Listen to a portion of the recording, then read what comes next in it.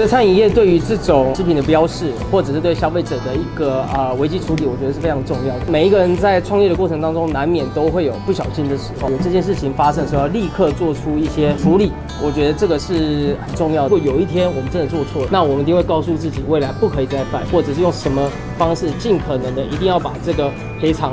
或者是怎么样的处理做到最好，对消费者有一个交代。勾起我们曾经的一个那个感觉，跟去看别人演唱会那感觉不太一样。到现在又回来 Energy 付出的时候，整个过程真的很不可思议。如果那个舞台是我，是不是有一样的感觉跟那种感动，也会让我们觉得是不是合体是重新聚聚一次拼一次，再年轻一次。今年可能从熟到快七十，可能再更多了。是小明跟那个季子晴，啊是。是，那你怎么看？这同样是哦，我觉得餐饮业对于这种啊食品的标示，或者是对消费者的一个啊危机处理，我觉得是非常重要的。那过程当中，餐饮业呃，你说每一个人在创业的过程当中，难免都会有不小心的时候。但是你当然啊有这件事情发生的时候，要立刻做出一些呃处理，我觉得这个是很重要的。因为有一些品牌，我就觉得做的不错。像呃可不可？我觉得他在那个时间点就做的蛮好的，他立刻呃处理了这间店应该要有的一些纪律啊。那我觉得这也算是一个借鉴了，我们会警惕自己，就是说在过程当中如果犯错，一定要立刻的呃站出来解决这个问题。那时时刻刻尽可能的避免这事情发生在自己身上，这样子。呃，我觉得网友会比较在意的是你。做对于这件事情负责任的态度，跟你怎么做这个公关处理，其实呃，我们做餐饮业的或者做任何的行业都有可能不小心有失误，但是这个过程当中是你怎么去做交代处理是是很重要的。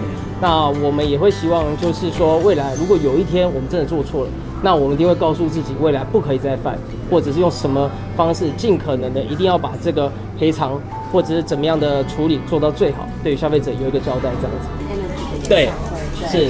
看完之后有没有让你特别感动？其实真的有哎，勾起我们曾经的一个那个感觉，跟去看别人演唱会那感觉不太一样。我们跟奶哥一直来讲也不错啦，对，所以我以前小时候看他跳舞的，嗯，然后 Energy 成功的时候，我们又看。过他的演出，后来 Energy 结束的时候，我们也一起有在一个群组，我们都一直有在联络这样子。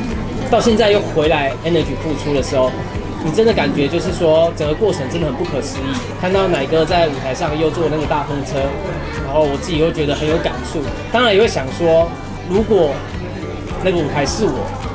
是不是有一样的感觉跟那种感动？我们完全能感受 Energy 这一次的付出。他们除了成功的背后，心里面的那一种觉得真的是感动，我觉得是很加分的。当然也会让我们觉得是不是合体是真的是值得让我们再重新聚聚一次拼一次。呃，对，再年轻一次。可是听说是年底。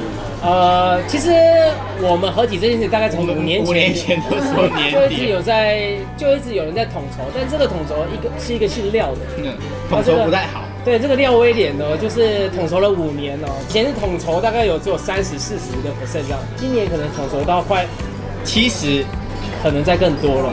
对对对，那整个过程当中，当然我觉得大家都很提出。到底合体要做什么？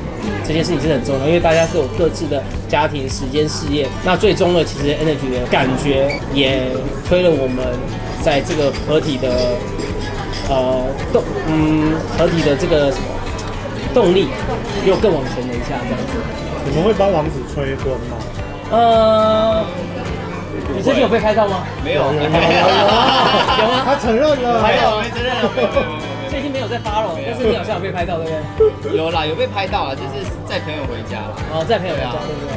大家可以再关注啊，说不定他朋友很多啊，可能有机会被拍到。但我觉得其实他心里是有准备的哦，好不好？最近可能对他有心动的，可以 加快一点脚步哦，因为他现在的年纪大概三十五、三十五，他其实是有点紧张，紧张。私底下的时候有在聊，所以王子是有预计要有啊，之前有讲说希望三十八岁嘛。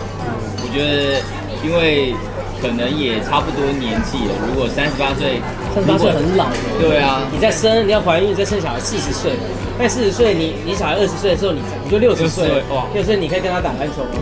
你不行，对不对？对 对不对？所以你真的早一点比较好，好了，如果有缘的话，加速了，加速就了。今年啊，因为太今年可能没办法 今年可能没办法。今年再拍拍到三次就成交，好不好？再三次就成交。